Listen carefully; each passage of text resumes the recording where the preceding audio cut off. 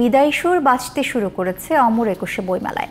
পাঠক, দর্শনার্থীদের ব্যাপক উপস্থিতি এবারের মেলাকে দিয়েছে ভিন্ন এক মাত্রা আবার অনাকাঙ্ক্ষিত বেশ কিছু ইস্যুতে সমালোচনাও কম হচ্ছে না। সব মিলিয়ে কেমন হলো এবারের মেলা? বাংলা একাডেমির মহাপরিচালক মোহাম্মদ নুরুল হুদার সঙ্গে আলাপচারিতায় সেই প্রশ্নের উত্তর খুঁজেছেন ইসমাইল হোসেন জুয়েল।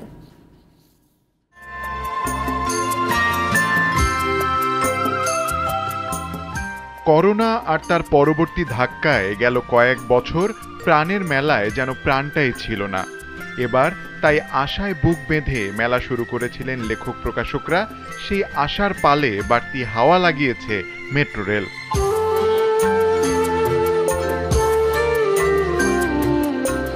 ছিল না রাজনৈতিক অস্থিরতা, আবহাওয়াও খুব একটা বিরূপ হয়নি। ফলাফল বইমেলায় পাঠক দর্শনার্থীর ব্যাপক উপস্থিতি। বেচা কেনা নিয়ে পুরোপুরি খুশি না হলেও একেবারে অখুশিও নন প্রকাশকরা। তবে দেড় যুগ পর বাংলা একাডেমির নিজস্ব ব্যবস্থাপনায় এবারের মেলা নিয়ে কতটা সন্তুষ্ট প্রতিষ্ঠানটির মহাপরিচালক? আমরা দশ তারিখ, জানুয়ারি দশ তারিখের আগে এই মেলা সম্পর্কে দৃষ্টিতে হয়েছিলাম তাই না? এই কম সময়ের ভিতরে অন্যান্য বারের চেয়ে তিন ভাগের এক ভাগ কম সময় পেয়েছে। তার ভিতর দূর যে আসতে পেরেছে, এটা আমি বলব করুণাময়ের, করুণা একটা- একটা কথাই বল- বলি, বলতে চাই ওটা ওইটা হয়নি। আর কি হয়নি সেটিও বলেনি। আমাদের সব জানতে হবে। জেনে আমরা এটাকে পূর্ণতার দিকে এগিয়ে যাব বলে মনে করি। বইয়ের মেলা, তবে বইকে ছাপিয়ে এবারের মেলায় বারবার সামনে এসেছে আলোচিত, সমালোচিত বেশ কিছু ঘটনা।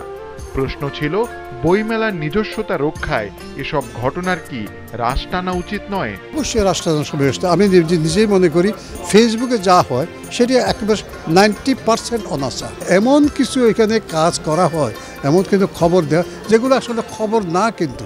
মানুষকে মুখরোচক খবর করা করে ওর বিনিময়ে গুগলে ইয়ে নেওয়া তার এখান থেকে একটা বাণিজ্য করা একটা বাণিজ্য এটা একটা বাণিজ্য স্থান হয়ে গেছে। কাজে এখান থেকে আমাদেরকে বেরিয়ে আসতে হবে। লেখক অনেক বইও অনেক তবে মানের প্রশ্নে একটা কিন্তু থেকেই যাচ্ছে। কবি নুরুল হুদা মনে করেন চর্চার অভাবই এর প্রধান কারণ। একটু লেখাপড়া করতে হবে হাতে বই দিতে হবে শুধুমাত্র ওই যে হাতের বই নিলে যে গন্ধটা পাওয়া যায় সেটি কিন্তু একেবারে সৃষ্টিশীলতার গন্ধ। একুশ শহীদ মিনার বইমেলা এবং বাংলা একাডেমি এক সুতায় গাঁথা।